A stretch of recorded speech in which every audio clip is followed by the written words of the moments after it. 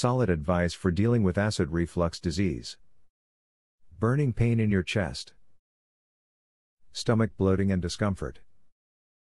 Nausea after meals. Burping which never seems to end. These are just some of the symptoms of acid reflux which can turn your life into a never ending nightmare.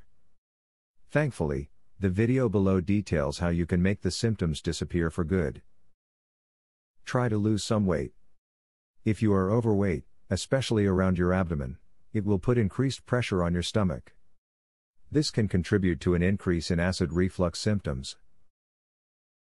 Simply losing a couple of pounds will reduce the pressure on your stomach, which in turn will reduce acid reflux. The more fluid you drink during your meal, the more volume is placed in your stomach. This causes more distension in the stomach and adds pressure to the lower sphincter of the esophagus, creating the perfect condition for acid reflux. Try drinking between meals and drink water in small sips rather than big gulps. Limit your liquid intake with meals if you're prone to acid reflux. Even healthy beverages like water can fill up your stomach fast, creating conditions that are conducive to acid reflux. Sip your beverage conservatively and never gulp it down. Wait a half an hour after a big meal to enjoy quenching your thirst. If you have been having any acid reflux symptoms over an extended period of time, make sure that you go in to be seen by a doctor.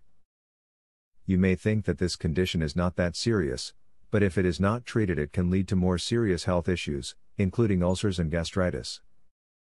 Watch what you eat. You have some types of foods that trigger acid reflux for you, just like every other person who suffers with this condition. Once you have identified your trigger foods, you're able to watch out for them. High impact exercising can increase your acid reflux symptoms.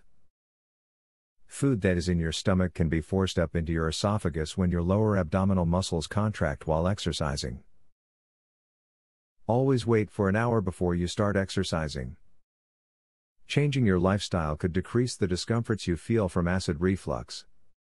Watch your diet so you can avoid foods that trigger the reflux. Reduce the stress you feel each day. Stress could cause the body to produce more acid. Shed a few pounds.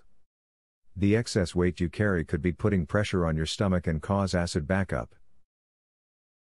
Eat smaller meals, more often. If your eating pattern is to eat a couple of very large meals during the day, then you are complicating your reflux condition a lot.